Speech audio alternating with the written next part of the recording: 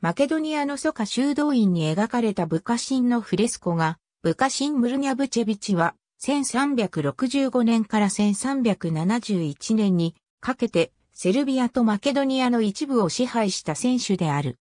17世紀のラグーザの歴史家、マブロー・オービンは、ブカシンと彼の兄弟である4番ウグリエシャは、ボスニア西部のリブノで生まれ、フム出身のマンジャバという名の小貴族を父に持つと述べている。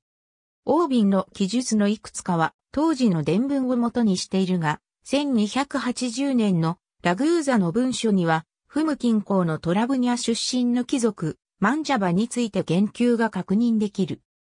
また、1289年に発行された特許状の中には、セルビア王ステファン・ウロシュ2世、ミルティンの母、ヘレナの会計係として、マンジャバの名前が現れる。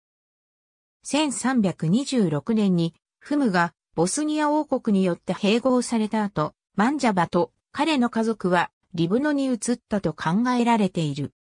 1350年のセルビア皇帝ステファン・ウロシュ4世、デュシャンのボスニア攻撃において、マンジャバの一族は他のフムの貴族と同じようにセルビアを支持したと思われるが、戦後ボスニア政府からの処罰を逃れて、セルビアに移住した。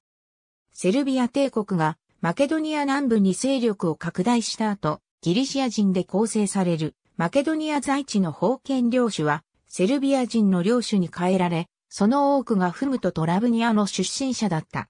1350年頃、ブカシンはウロシュ4世より、プリレプのジュパンに任命される。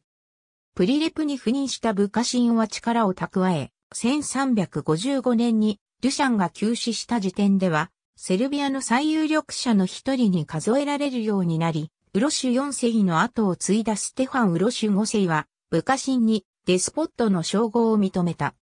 1365年にブカシンはウロシュ5世の共同統治者として、セルビア人とギリシャ人の王の称号を帯びた。ブカシンは、プリズレン、スコピエ、プリレプを支配し、世来のデスポットである兄弟のウグリエ社と良好な関係を保った。やがてブカシンはウロシュ5世と肩を並べる実力を持つようになる。